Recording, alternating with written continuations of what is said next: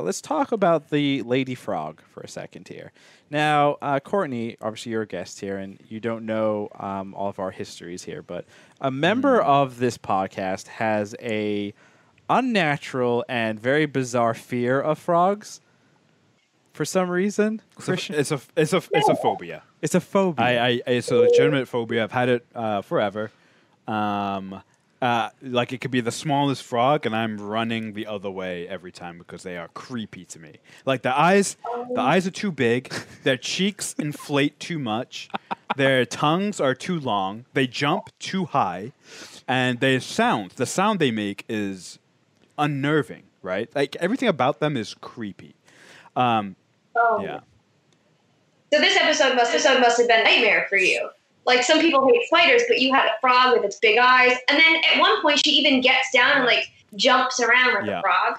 So this is actually where Star Wars actually did a fantastic job. Star Wars created the first and the last frog I will ever ever be sympathetic to, because she has such human qualities. qualities, emotions, and characteristics. Like she was a mom, she's like this a lot of the time. Like, oh, I'm you know I'm worried about my eggs, you know, like this. And when she was passed out, like on the floor, like uh, like dead, I was like, oh no, not the frog mother.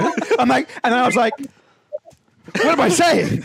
kill the frog! Kill the frog! Yeah, Uh, but I was like, I'm so conflicted. No, um, they uh, so and this is this is this is the strength of Star Wars. Uh, clearly, they make they make these these puppets, uh, and in their mannerisms and their eyebrows and you know just you know just Facial their- features. the facial features Yeah. and like their movements, and they make them so they they can portray like a lot of human emotion. So it, it's true. Even though I have like uh, this like phobia of frogs, she was like I said, the first and the last sympath- the first and last sympathetic frog I will ever see ever again. So good job, Star Wars. Until until episode three when you see her husband. yeah, and let's uh, and let's jump there real quick because I think everyone um, said at the beginning. Courtney, you also said, you know, this episode is clearly not, is potentially not a filler. This frog lady has a clearly a special place in Krishna's heart, but um, clearly is going to play a potentially a, a potential bigger role in this season. Um, one of our notes in here is, you know, is she actually telling the truth about her husband seeing other Mandalorians? We know that, you know, the kind of the the run through here is the Mandalorian uh, needs to find another Mandalorian, other Mandalorians in order to complete his his whole thing. Um, Courtney, where do you do you have a theory in terms of where this could potentially go with, you know, Krishna's favorite friend of all time? Um, I don't think that she's like a huge character. I think she was kind of just um, a plot device to get the Mandalorian off of Tatooine to get him to where the other Mandalorians could be. I don't think she has like this deep, you know, backstory or more important than what we saw in this episode. But I could be wrong. But I just think that she, like I said, she was just a means to an end to get him off the island. Off the island. yes, off the island. There we go. Uh, I off planet, and I think that that she was just a, a way to Yeah. my my so my gut my gut instinct is you're totally right. Like her purpose is what it is.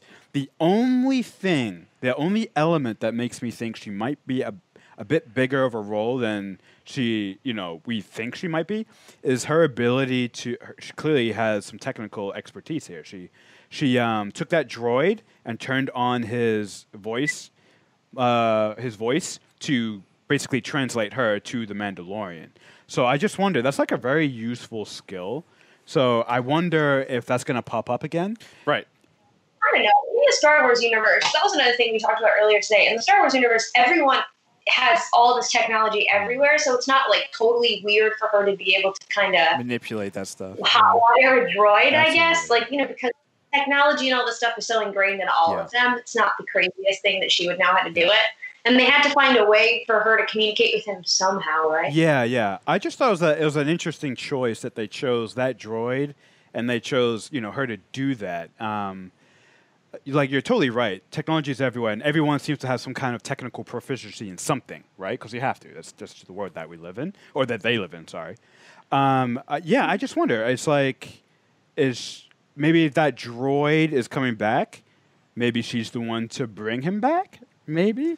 No, it's, it's it's super simple, right? The first season, built the Avengers roster Oh God. through the season, and then the. Avengers United at the end uh, to take down the big bad evil man Moff Yeah. Gideon.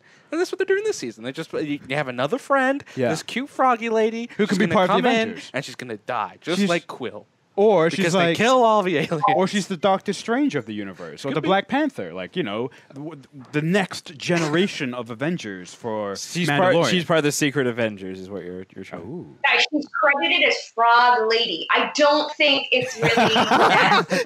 Wait, but that sounds hilarious. like, like you've got you've got yeah, obviously rest in peace Kuiil, but you've got Cara Dune, Mandalorian, Greef Cargo, Frog Lady, Cargo is Karga. the Child, Cargo. Sorry, Car- Cargo. No, Greef Cargo. no. Sorry, I'm sorry, Greef. I'm sorry.